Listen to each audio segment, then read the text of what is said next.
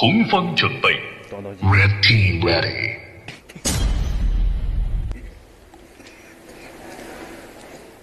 蓝方准备，Blue Team ready。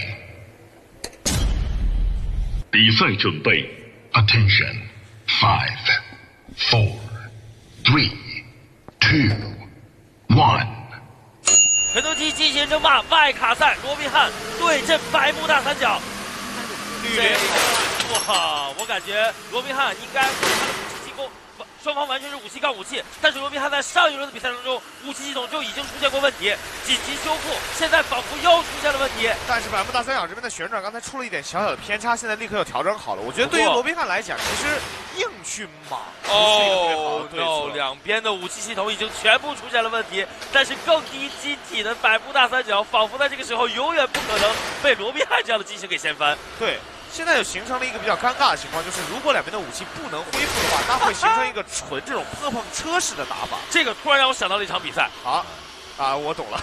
突然让我想到了一场比赛，但现在两边的武器系统已经全部宕机，这就是横转机器人的一些很大的弊端。最大的一个弊端吧，我觉得其实两边现在正确的打法是什么？是先拉开，寻找一个机会，能不能让？哦，这边罗宾汉他把他的武器插进去了，开始掰手腕，开始掰手腕了。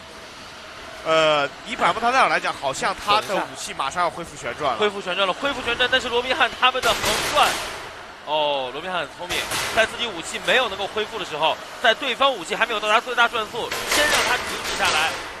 但是如果这样硬上去刚的话，其实对方的武器转速是很夸张的。哦，但是你要看一下，呃，来了来了，武器其实，哎，转起来了吗？转起来了，转起来了。两边的武器现在都在慢慢的。确定这个不是由于刚才被击打以后的惯性吗？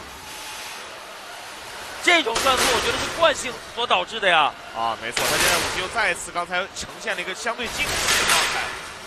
这场比赛如果，我觉得照这个态势发展下去，罗宾汉在失去自己。等一下，等一下，冒烟了！如果这样不断撞击对方的武器，很有可能把百慕大三角打停，因为整个的电子系统可能会有一些的连接。对，但是百慕大三角这边其实还有另一个进攻手段，就是通过前面这个前铲去撞击。也就是说，玩碰碰车，百慕大三角赢了。对。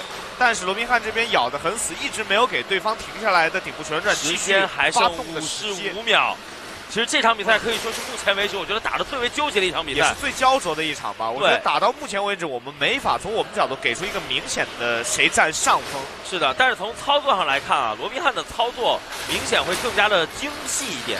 在百慕大三角这里的话，以不变应万变。对，而且确实在。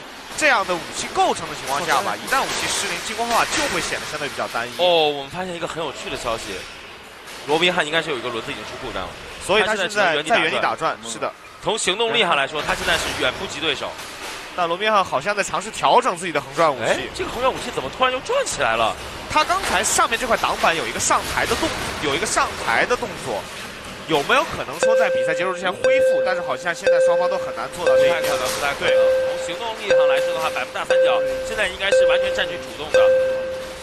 一零这场比赛双方都没有 KO 对手，但是没有想到罗宾汉在第一场比赛失利之后，依然没有能够及时调整自己的武器系统，在这场比赛一上来横转武器再次出现问题。是的，那这场比赛其实对我们的裁判专业的裁判组考验是比较高的。我就是专业的裁判，我大胆预测应该是百慕大三角赢，是吗？对，我觉得应该是罗宾汉赢了。真的吗？因为我觉得我们两个是站在两个角度在分析。我我的角度是讲，我的角度是觉得罗宾汉在主动性上。会更好一点，而且他每次出击的成功率会高一点。是的，但是从另外一个角度来讲的话，两边的机体如果从保存程度上，百慕大三角已经冒烟了，但是罗密汉的机体没有任何的问题。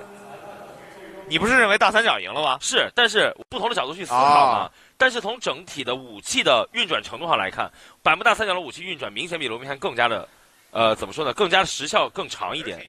来了，这边我们已经拿到了最终的结果，究竟谁能够获得这场比赛的胜利？我们静静等待着宣读结果。外卡赛第三场比赛，百慕大三角对阵罗宾汉。裁判裁决获胜方为红方百慕大三角。